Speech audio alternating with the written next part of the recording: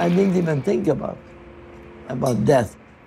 But shooting actually those Russian tanks, you know, going through there, they can shoot me. Anybody who had a camera was shot immediately by a Russian soldier. At that time, I didn't think about that. But I felt that I had to photograph it. You were alive and holding a camera at a very important time in history. You had to think, I'm doing something important. It's very easy to make beautiful pictures, but pictures which mean something with what's in it. But that's a di- totally different story. I took a walk through this beautiful world. Felt the cool rain on my shoulder.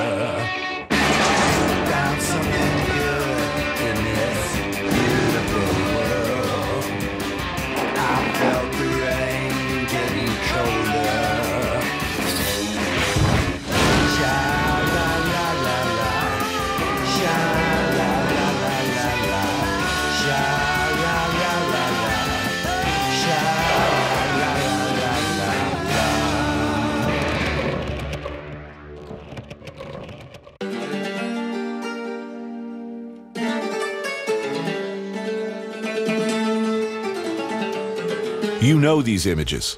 You grew up with them. They're burned into your brain. They're iconic sequences. Framed and lit and seen through the lens in ways that changed filmmaking forever. All made by the same man. So, who made these beautiful things? Where did he come from? It didn't begin in Hollywood. It began here, in the streets of Budapest. What about his life?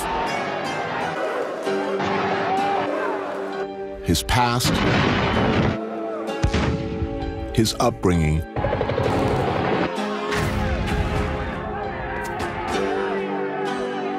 Led him again and again to look through a piece of glass and make images like these.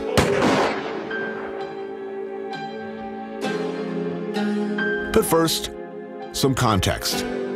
And schnitzel. Did I mention schnitzel?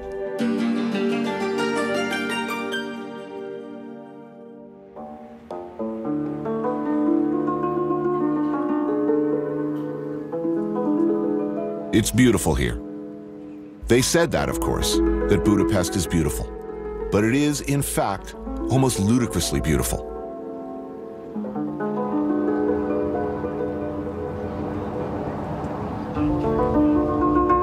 Riot of gorgeous architectural styles, palaces, grand public spaces, former mansions of various princelings, the remains of a long gone empire, still here.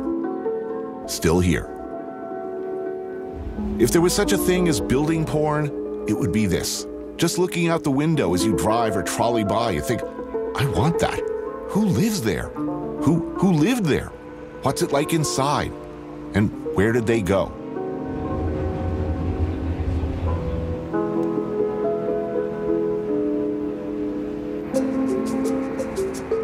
From high up Gellert Hill, you get a sense of the layout of the city.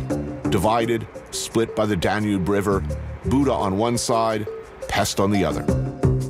Hungary's capital, literally divided in two, historically a crossroads of Eastern and Western worlds. Which is which now? Which is Buda and which is Pest? We are in Buda. If you can Right. look down, you're always in Buda. Okay. If you look up to something, then you're in Pest. Peter Zilahy is a Budapest born poet and performance artist. According to the, the myth I was brought up in, if you're in Buda, you are in Europe, and the other side is Asia. This was the this was the border of the Roman Empire originally. This big river. Right here. Yeah. Why didn't they cross? Uh, the other part, other side is flat. It's hard to defend, and there were all these uh, tribes that were like really Right. vicious and uh, not as civilized as the Romans believed. But They've all been here the Celts, the Romans, Mongols, the Ottoman Turks. All had their way or tried. All left their mark to one extent or another.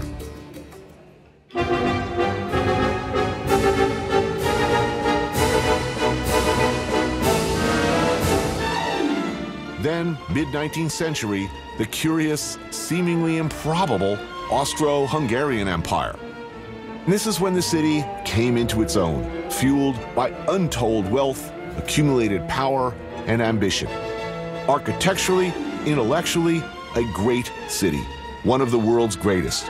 And that was the time when Budapest was a really progressive um, metropolis, you know, like the first uh, subway in uh, the continent of Europe was in Budapest. Parliament had like a very sophisticated air conditioning system. So people wanted to come here, wanted to live here, wanted to start a career, wanted to build places like this because it was a good investment.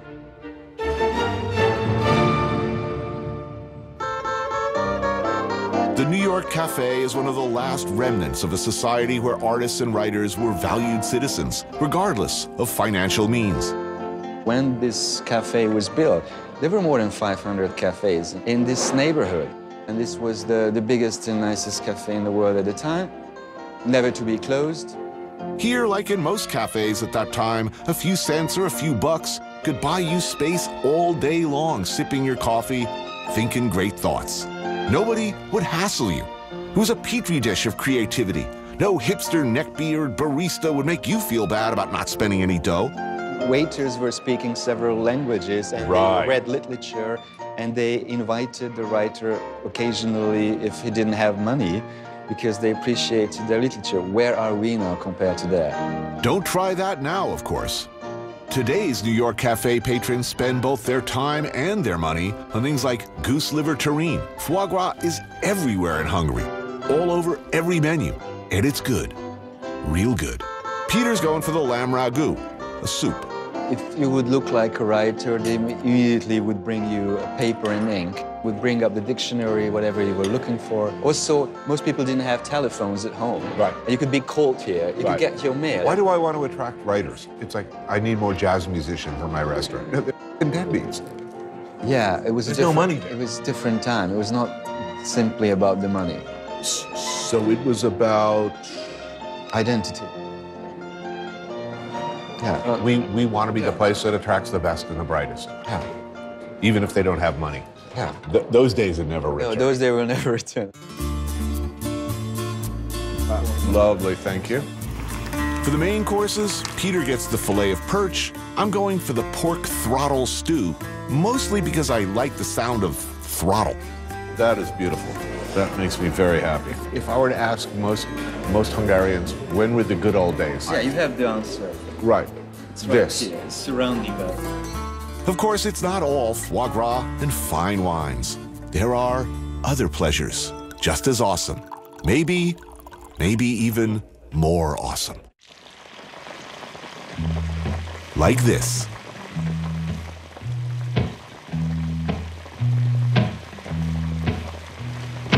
Pléh Csárda, a smoky, chilly working class joint run by Istvan Babel for the last 25 years.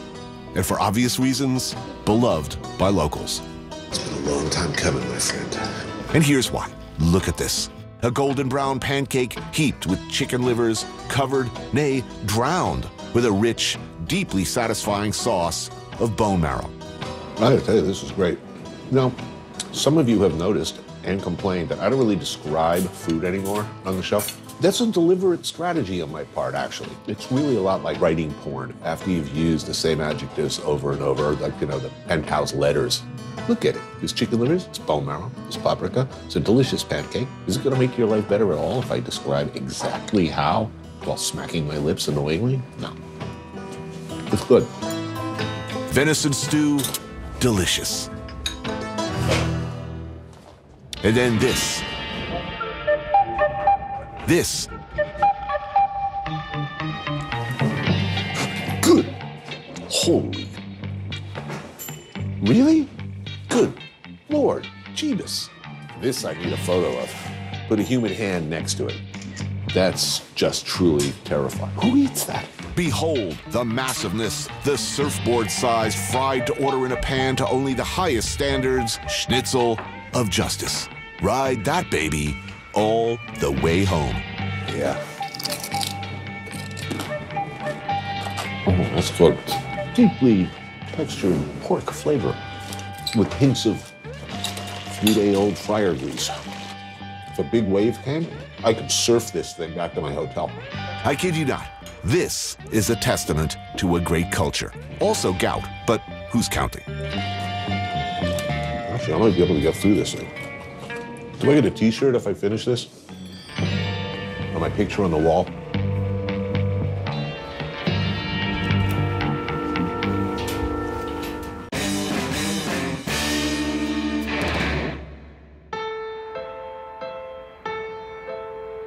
We are, all of us perhaps, called to serve a higher purpose, put here on earth to do God's mysterious will. Daniel Mate is here for this to spread the gospel of meat, Hungarian meat related wisdom in all its delicious, delicious variety. Like St. Francis of Assisi, he wanders the earth doing good works. In this case, highlighting the ancient arts of butchery, sausage making, and the preparation of many of the Lord's creatures, as he himself would no doubt like to see them prepared.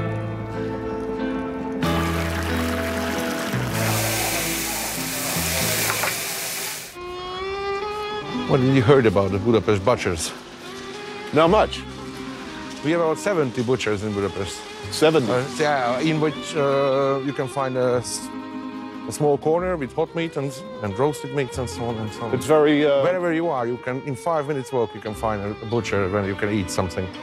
And on this particular corner, Belvárosi Disznótoros, one of Daniel's favorites. so, you're not a butcher.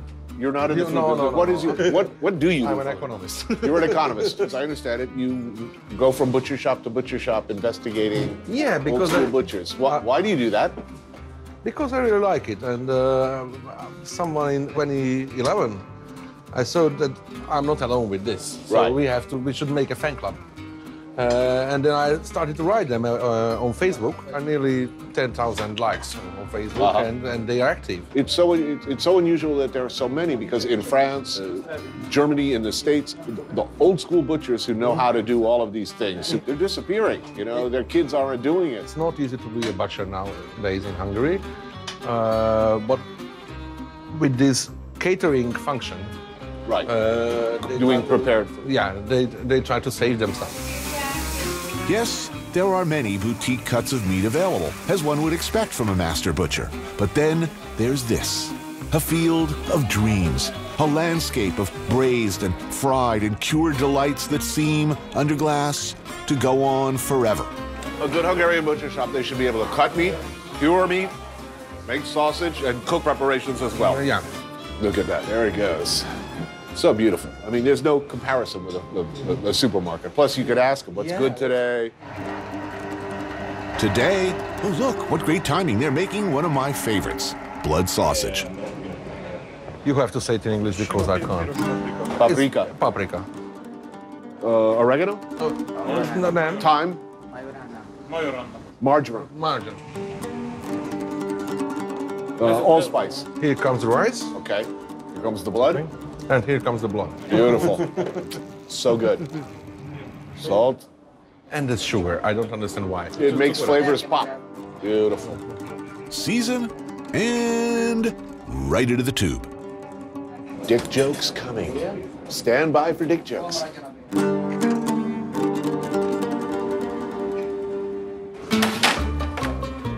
All right, so what do we have here? Ooh, that looks good. Some nice pickles. Braised red cabbage. Over there, from the mighty shanks of some mythical creature, perhaps, a Batalosaurus. Or a Deliciosaurus, at least. Slow braised until the meat is falling off the bone. And let there be blood. Delicious, delicious blood. In tube form, served, still steaming, nay, heaving, engorged, as you will, with goodness, to squirt across your plate as you press against it with the side of your fork. So delicious. So, how often do you do this? Two or three times a week. Uh huh. What distinguishes a good butcher from an okay butcher? Actually, I myself like all butchers. They're doing good business here. and it's cheap. Yeah? I can't tell you which, which is my favorite butcher in Budapest because Yeah. all, of them, all of them is different. Right. You ever just go out for like a salad? No. I, I kid, I kid. Mm.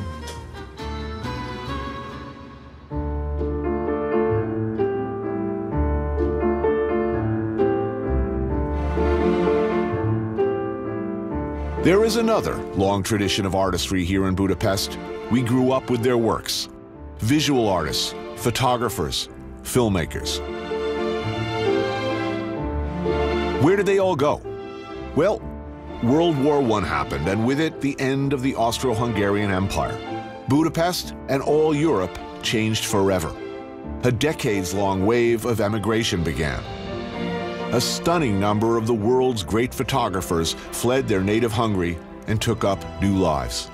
Eventually, this man joined them. I'm been shooting still since I remember I was living, basically. I was five, six years old when I was taking pictures with my father's Kodak camera. The right moment you have to capture. And that's the difficult part. The exact moment which told the story. Hungarians, there is this thing to, to excel. My father was not really an artist. He was a, a soccer player, a, a very good one. He said, son, whatever you do, you have to be the best in it. First. Not second, you have to be first. Because otherwise it's not worth it.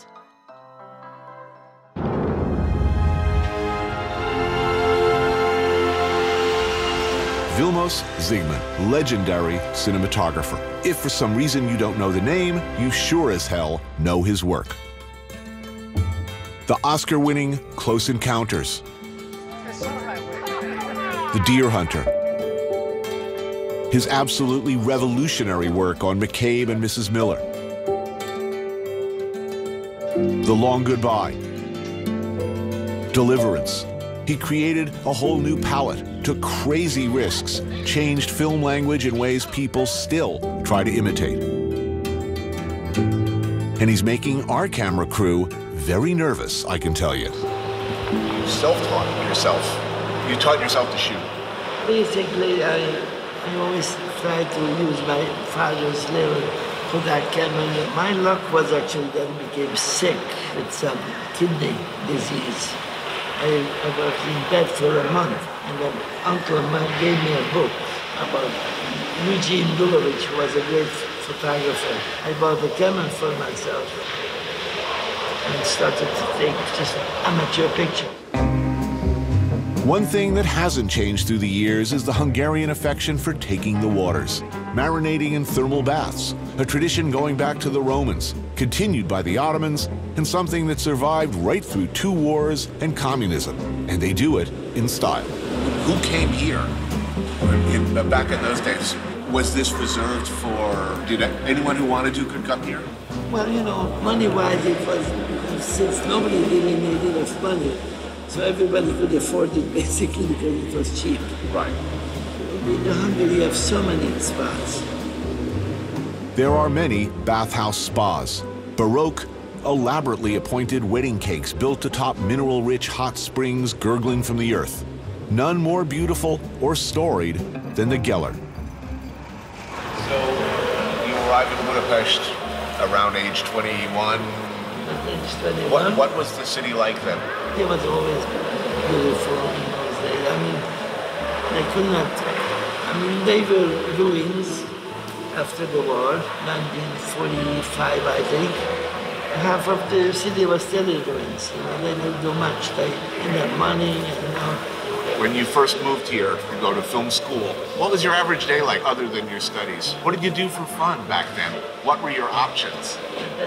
The options were zero. Imagine that we were in the school. There were very, very little help from the government, very little money. It was good enough to have breakfast and lunch or breakfast for dinner. You had to skip one lunch if I wanted to buy a sock, pair of socks. So we were very, very poor.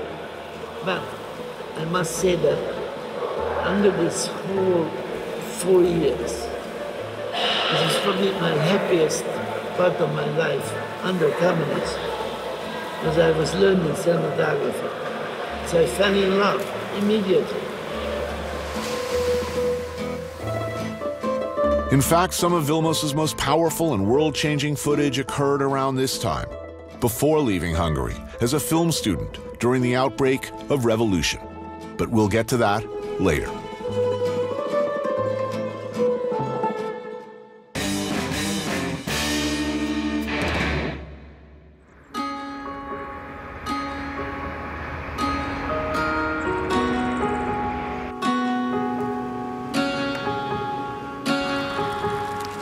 Many ways, Vilmos Zsigmond's career as one of the great cinematographers in film history begins here, in Szeged, about 200 kilometers south of Budapest.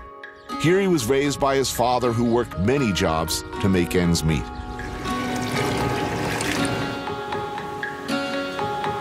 Weekends and warmer months all over Hungary, wherever there's a river and fish, places like this are thronged with families. And here, along the Tisza River, is no exception. Here, young Vilmos and his dad would come and eat halászlé, the local specialty, a fish soup. How old were you when you first came to this place? I must have been about seven years old. No, my father was was really great. Those days, years actually, he didn't have much time, but occasionally he wanted to take me away somewhere, you know, on a day of, away from work. Because he loved this place actually. He loved es- especially this this csárda, this fish soup. So, Well, that's murky and good looking. Yeah. yeah, Need some bread for this for sure. Pike from the river simmered low and slow in a rich fish stock with a healthy amount of onions and the near ubiquitous but always delicious paprika. Ooh, that's good. Right? as a kid, I loved that. That fish tastes so good. Um, during the summer, they, they open the windows, they eat outside. What? And then, then they go and swim in, the river. It was a great place. It used to be a great place for fun.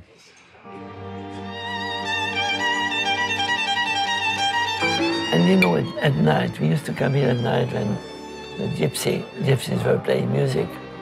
And I loved that actually. I always loved gypsy, gypsy music. They were playing Hungarian songs. I had a very happy childhood. It was good times until, until, until the war got in and then stopped all that uh, happiness, you know, there was just hard times. Were you fully aware of how bad, how grave things were? Near the end of the war, until the Germans came in and then, then the Allies started to bomb us. And they, they started to, to take uh, uh, Jews actually uh, into working camps. That, that, that started to be very, very ugly.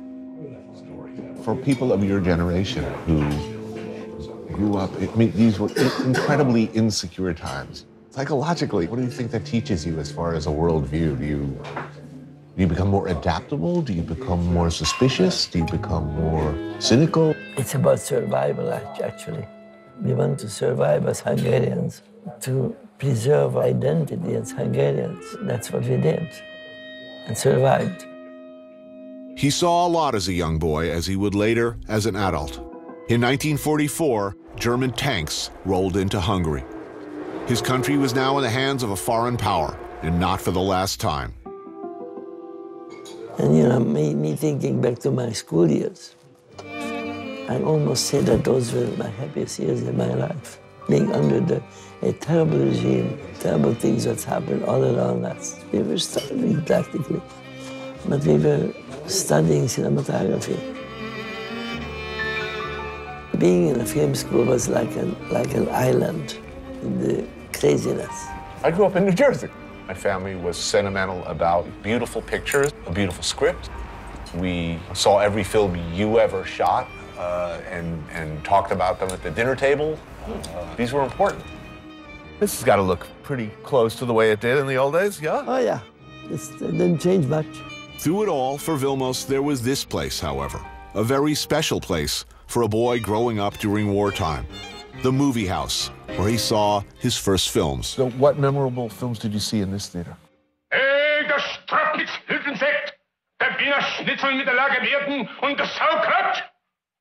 My probably best experience what I had in, in, in my life, I, I was in Hungary.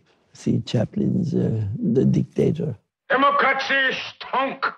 Democracy is fragrant. Liberty stunk.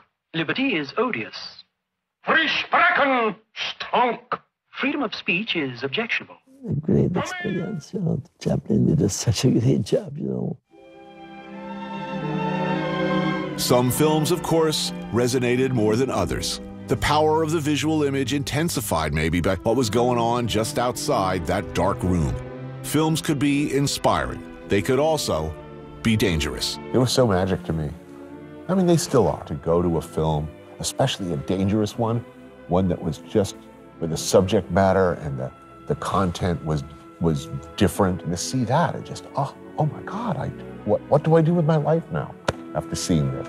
This theater, by the way, is now named in his honor.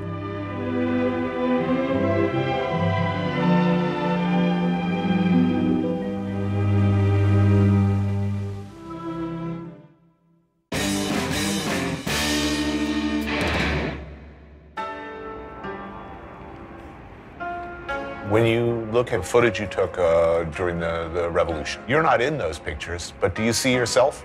I mean, do you remember what it felt like? Remember that I was, I was actually uh, fed to death. Shooting actually those Russian tanks, you know, going through there, you know, that can shoot me. I felt that I had to, photo, photograph it. Tanks were going from one side to the other side of the Danube and There were tanks coming across this? Well, yes, actually, it was a pretty cold, cold day too. Yeah. Not this cold, but it was. It was raining. It was bad weather, so it was very much, uh, you know, in sync with what was happening in Budapest. After the war, a Cold War.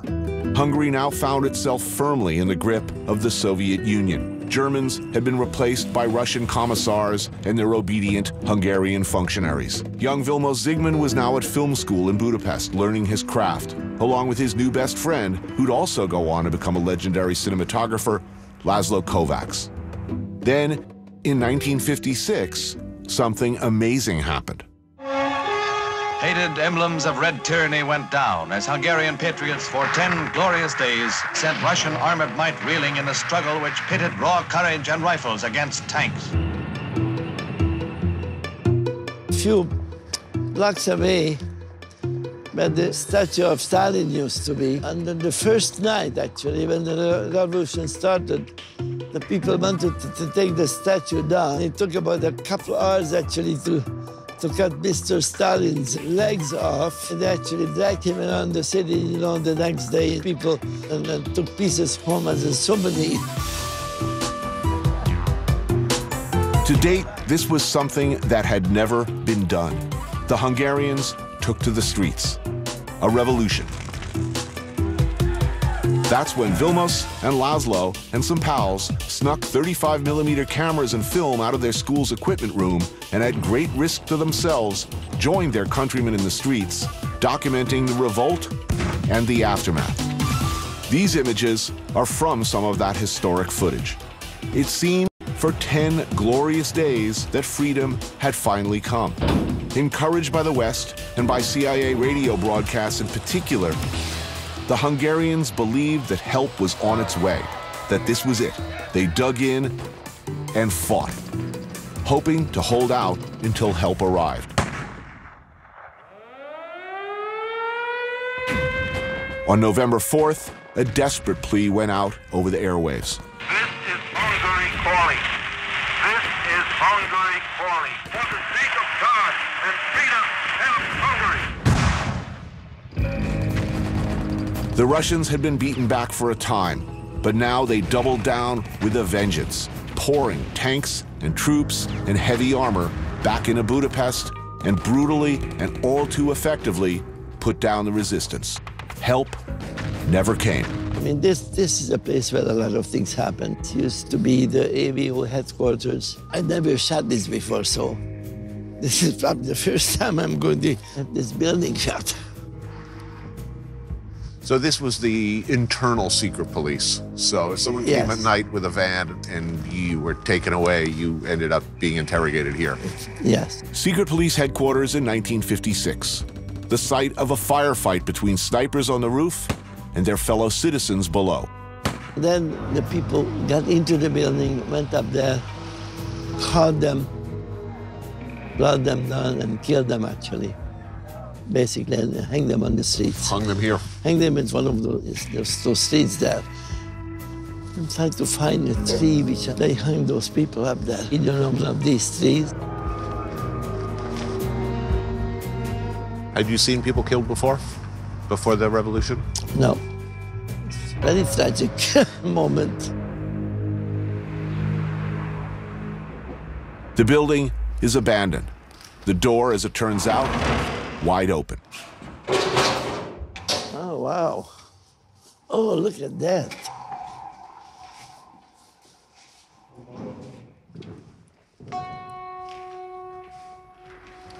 It still feels sad. A little haunted, Yes, yeah? but- Well, those were vicious times, you know. People's life was not, not really important for these people. They were cruel.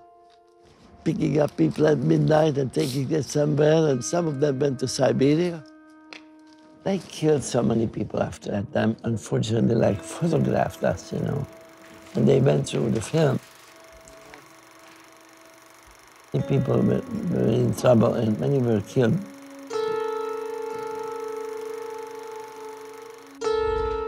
Two hundred thousand people left the country that time, Hungarians. How long did you stick around? Almost three weeks. And that's when we realized that nothing is going to change. You left Hungary with a lot of cans of film. As much as we could carry. We had just enough money basically to get to, to America.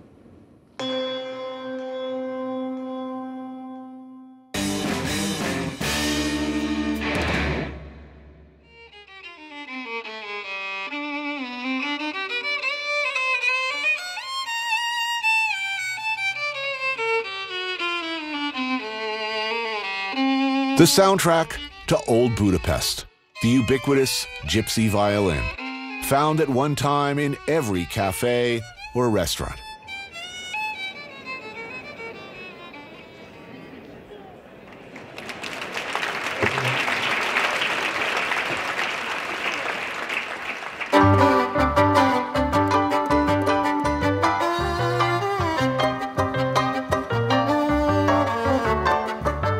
It's a hard life, that of a professional musician, as true a statement in Budapest as anywhere. These guys are Budapest Bar, an eclectic troupe of extraordinary musicians united by their dedication to that uniquely Hungarian crossroads of gypsy and classical music.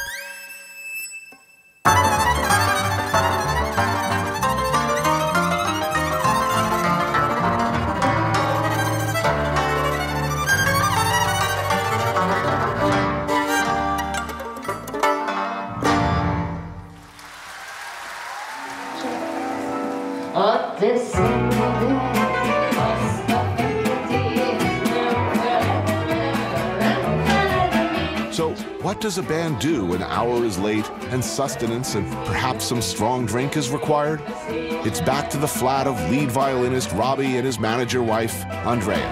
And of course, they must play more music. Do you have to be gypsy to play gypsy music? Yeah, no, no hesitation. Gyurit kérdeztük meg. He says it's very rare that anybody who is not a gypsy can play gypsy music. az nem, nem egy olyan In gypsy music, the whole lifestyle, the whole spirit is in. And kids start learning it when they are two or three. By the time you are eight, you have all these ingredients in your blood.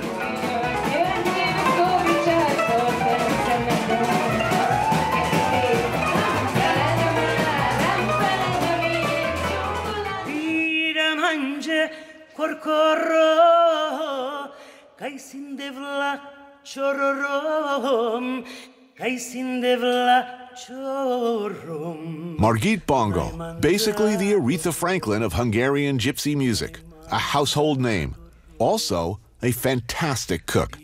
Extraordinary singing talent does not preclude her from overseeing a classic lineup of dishes like chicken paprikash, whole perch roasted in bacon, stuffed cabbage filled with goose meat, and slow cooked. And of course, the inevitable goulash, the iconic dish you see everywhere, but rarely as good as this. M'hai.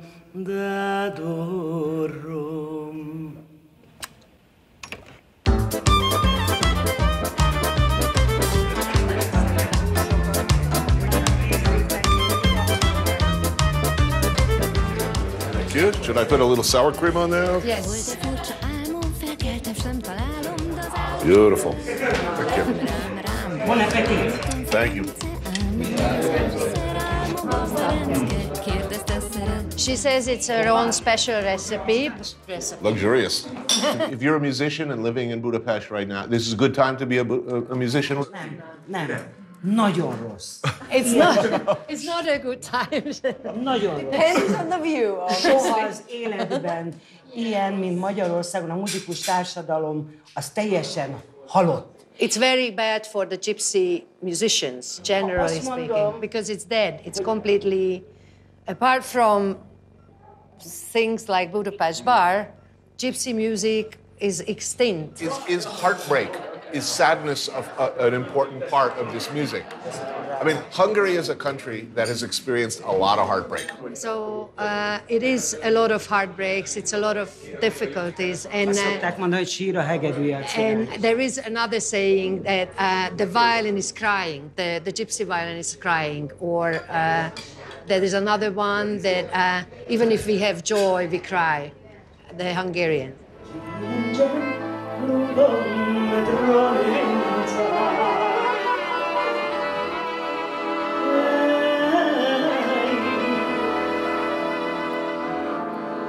Maradine, but the way, Romeo.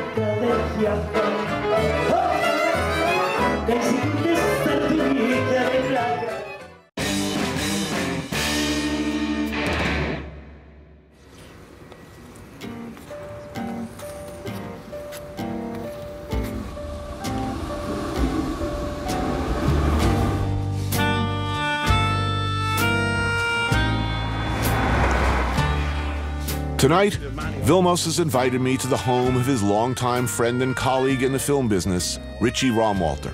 Vilmos met Richie on the set of a movie more than 20 years ago, and they've been friends and partners ever since. Your health, that's what it is. Thank you. Cheers.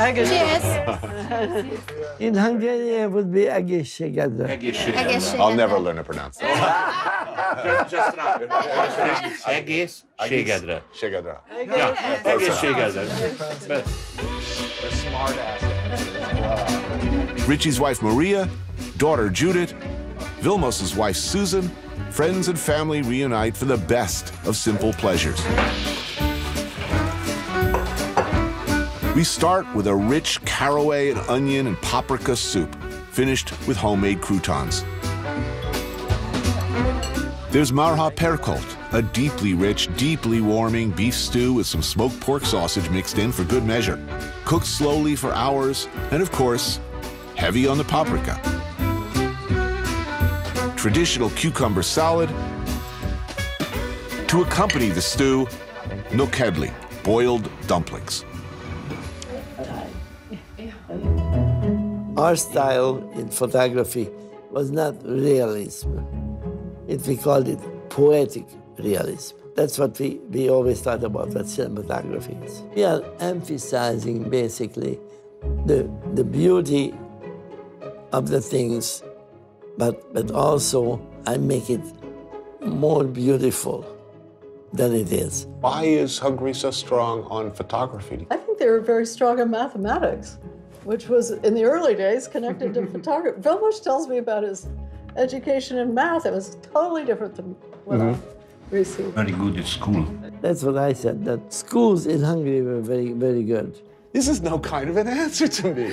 You've made some of the most iconically beautiful images that you know we've known in the modern world, and you keep telling me, "Well, I was smart in school, or I was good at math, or it was a Now good." Tell me, what would you like to hear? I was Give touched me a- by God. I don't know. I don't know what I'm. If you are regularly creating the sublime, I'm looking for a metaphysical answer. I don't know. We learn this. We learn to be an artist. So if I would ask you that how was dinner? would you- So deeply delicious. Thank you. Oh. oh, really good. Really good. Wow. Oh, thank you. I'm glad. What a great meal. Thank you.